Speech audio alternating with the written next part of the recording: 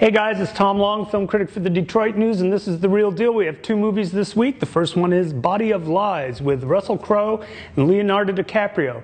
This is a Middle East war movie, I have to say, and that will probably keep audiences from flocking to it. It's directed by Ridley Scott, the guy who did Gladiator, Black Hawk Down, Alien, so many great films over the years, and has worked with Russell Crowe a number of times. It's a beautifully made film. I mean, it is really, really nice looking.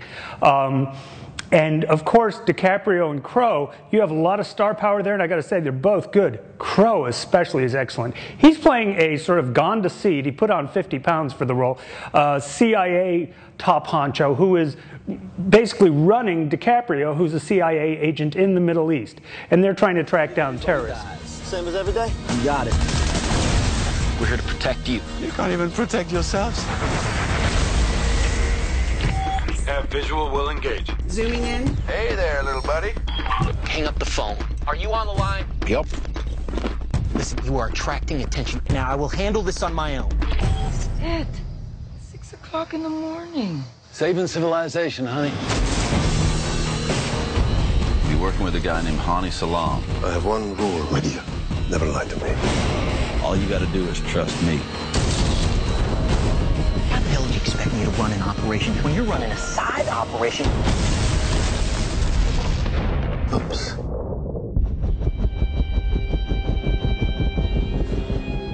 The problem here is, is while DiCaprio is very earnest and, and you know, well-meaning essentially, Crowe's character just just treats people as pawns. Seems to hate people unilaterally, including his own family, for that matter. Um, and so it's really kind of the ugly American. Uh, directing the well-intentioned American, and Lord knows that's the story of the Middle East. Um, it's really long. It's really smart, very smartly put together.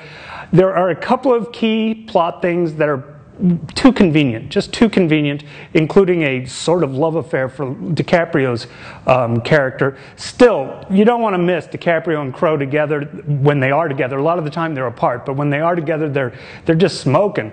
And uh, Crowe throughout the film is just the picture of the ugly American. Um, it's it's a good movie. I just thought it had some flaws. I gave it a B, but I still strongly recommend it.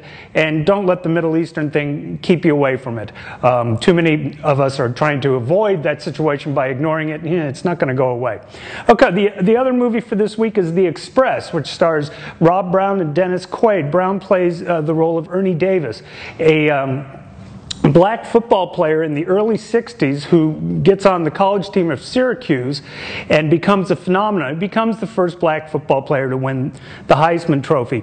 It's an inspirational, it's a nice shot of history. Boy, does it show you the intensity of racism in the early 60s. Um, and it's an interesting story. The problem is it's a story you've seen many, many times before. It follows the exact same trajectory as so many sports or civil rights hero movies. You can't say it's bad at all. It's, it's a well made film. It's just too familiar to really set anything on fire. Good morning, sir. Beautiful day, isn't it? But Schwartzwalder, he's one of the best coaches in college ball. Move, move, move. What are you smiling at? Right about now, I bet you're wondering what happened to that nice gentleman that begged you to come here, huh? Come on, let's go. What are you guys studying? A little bit of everything. Uh, We're on the football team. in that.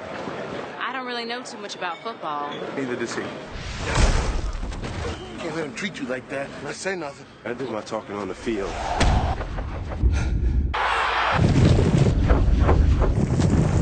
Look at that young man go! Syracuse just may have found their next great halfback. In light of what's going on in this country, do you feel added pressure to represent change? When I'm out on that field, I only think about winning the game. But that doesn't mean I don't know the color of my own skin. Um, it, on the other hand, I wish they were showing this movie in schools to you know third graders. It's it's a good, solid film, and it's a good story that's inspiring. I gave it a C plus just because of the familiarity and kind of lack of anything very different about it, but still a decently made film. So catch one of them this weekend. We'll talk to you next week.